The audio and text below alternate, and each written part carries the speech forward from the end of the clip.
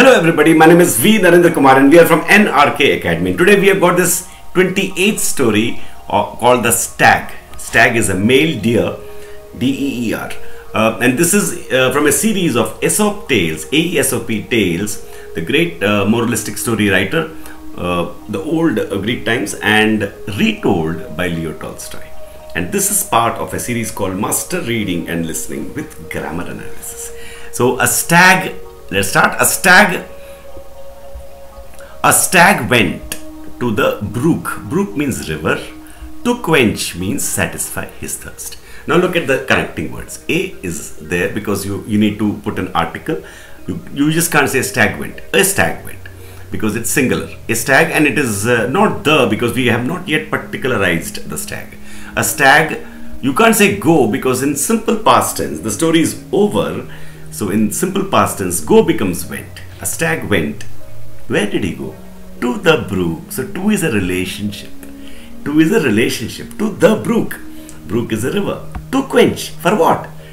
To the brook to quench. So this two is different from this two. This is a purpose and this is the relationship. A stag went to the brook. Where did he go? To the brook. For what? To quench his thirst. Not somebody else's thirst, his own thirst. So now the sentence is absolutely clear. A stag went to the brook to quench his thirst. A stag went to the brook to quench his thirst. See? He, he saw himself. He saw himself. Right? Like a mirror. In the water. In is a connecting word here. See? He saw himself in the water, that particular water, and is a linking word. Begin, began. Began is simple past tense. To admire. His horns and he was seeing. So there's a short form. Seeing. It is, it is actually means he was seeing. There is silent.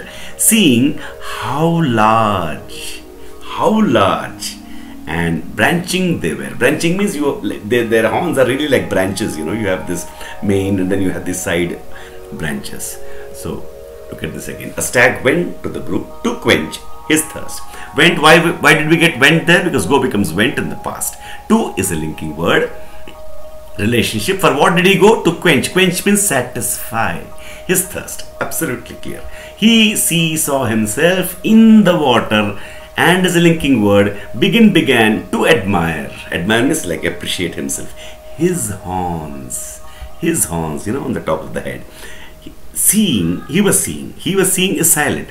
Comma. So comma becomes a linking word, right? Seeing how large and branching they were. Were is a past. It's are becomes were in the past.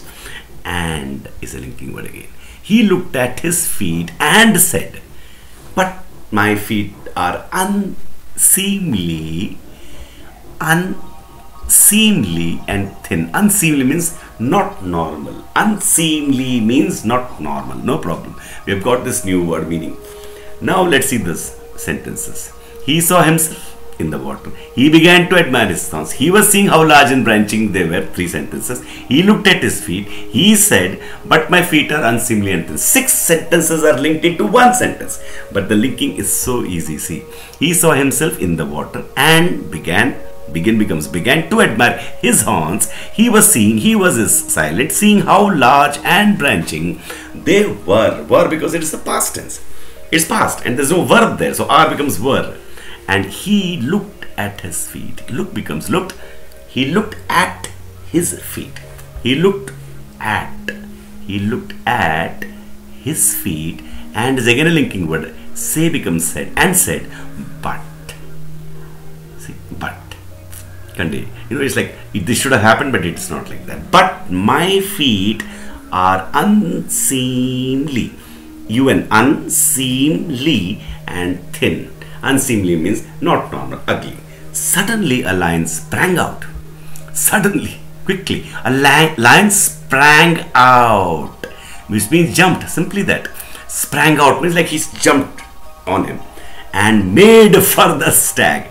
Made for means rushed towards. Made for is an expression in English. It means rushed towards. Made for means rushed towards. Made for the stag. The stag start started to run over the open plain. The stag started or began to run over the open plain. the stag, the stag, because we're talking about that particular stag only. Start becomes started. And what did he do? To run. He started to run. Over. Over is a preposition here. Be careful. Over. On. The open. The open field. That particular open field. Uh, plain. Plain means like grounded. No, not hilly. He was getting away. He was getting away. Like he was escaping. Getting away means escaping.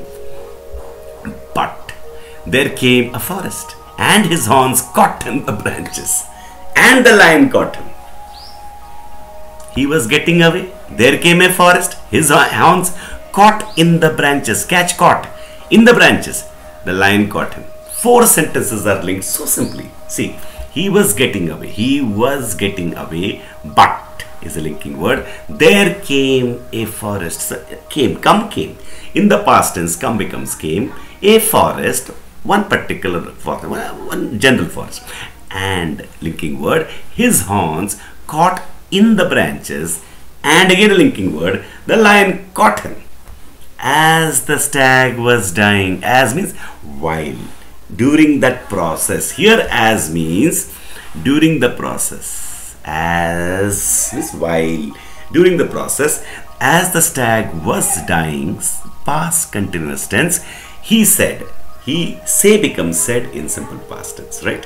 He said, How foolish I am! How foolish I am!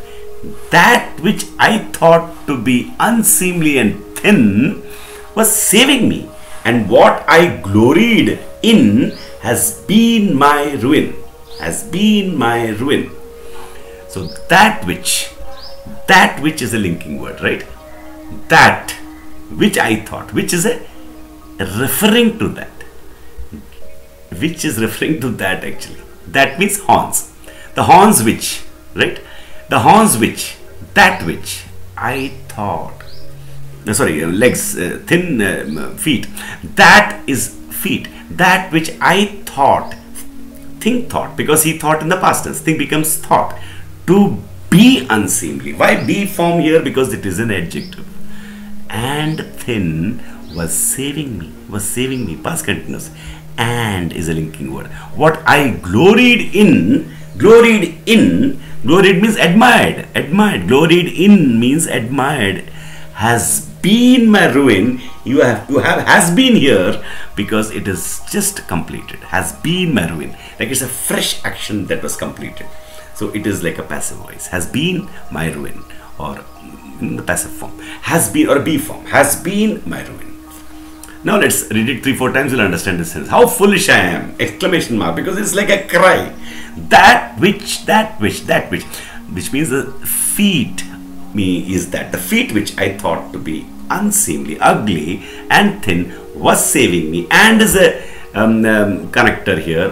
What I gloried in. Here, what means his horns. I gloried in means, gloried in is an expression. It means admired has been my ruin. You are was my ruin. You can say was my ruin, has been my ruin. But we have used has been here. Leo Tolstoy has used has been here because it is a fresh action completed. Has been my ruin. My ruin means my destruction. I have been defeated by life. So that is a harsh story, what we think is very beautiful could be a ruin. What we think is ugly could be saving us. How true that is, isn't it? Now let's see if you have got the full story perfectly. A stag went to the brook to quench, satisfy his thirst. Thirst means, you know, thirsty. He see saw, see becomes saw himself in the water and begin becomes began to admire, appreciate his horns. He was seeing, he was silent, seeing how large and branching they were, were because it's past. And he looked at his feet and said, becomes said, but is the linking word. My feet are. It is direct speech. So it is are only. Like present. Unseemly and thin. Unseemly means ugly. Suddenly a lion sprang out jumped out and made for the stag. Made for is advanced English actually. Made for means simply run. He went towards, right? Made for means run after. The police made for the thief means actually it is in advanced English. They ran behind the thief. Made for went to him. Made for the stag. The stag means male deer. The stag started to run over over the open plain he was getting away he was getting away like escaping getting away means escaping but there came a forest and his horns caught in the branches and the lion caught him. As the stag was dying he said how foolish i am. That which that is feet here. See this that is feet which is referring to that feet. That is feet. That which means feet which i thought to be ugly unseemly and thin was saving me and linking word what i gloried in gloried in is admired has been my ruin we have put has been here because it is just completed action now see, a stag went to the brook to quench his thirst. He saw himself in the water and began to admire his horns. He was seeing, he was silent, seeing how large and branching they were. Semicolon. See, semicolon is simply to like a comma, but in a larger sentence. And he looked at his feet, comma, and said, See becomes sad, but my feet are unseemly and thin. Suddenly a lion sprang out and made for the stag. Made for means run after, came after. The stag started to run started to run over the open plain. He was getting away, escaping, but there came a forest and his horns caught in the branches and the lion caught him. As the stag was dying, as the stag was dying, past continuous, he said, How foolish I am! That which I thought to be ugly, unseemly and thin was saving me, comma, and what, what, which is what here, what means refers to the horns, right? The branching out horns. And what I gloried in, which means admired myself, you know, has been my ruin. We have kept has been because it is just complete. Now, when we read it fully, you'll get it fully. A stag went to the brook to quench his thirst. You got it, Satisfies thirst. He saw himself in the water and began to admire, admire his horns. See, you read every word and see the linking words. Admire his horns seeing how large and branching they were, and he looked at his feet and said, But my feet are unseemly and thin. Suddenly a lion sprang out and, and made for the stags, ran after the stag. The stag started to run over open plain. He was getting away, escaping, but there came a forest, and his horns caught in the branches, and and linking word, the lion caught him. As the stag was dying, he said, he said, How foolish I am! That which I thought to be unseemly and thin was saving me, and what I gloried in, in what I admired has been my ruin. See, it seems difficult, but if you break it into parts, if you do the grammar analysis, if you repeat it, and learn the new words, and finish around 400 plus stories that we are planning, you will be a master. So that completes the story. I'm sure you enjoyed the story, the beauty of the story, the moral of the story, and especially the mastery of the reading that we did here. Thank you so much. In the next video, we'll do the 29th story called The Dog and the Wolf. Thank you.